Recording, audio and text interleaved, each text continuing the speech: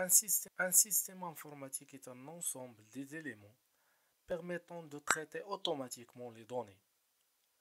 Les données traitées peuvent être texte, image, audio, vidéo. Le traitement des données se fait par deux éléments principaux, matériels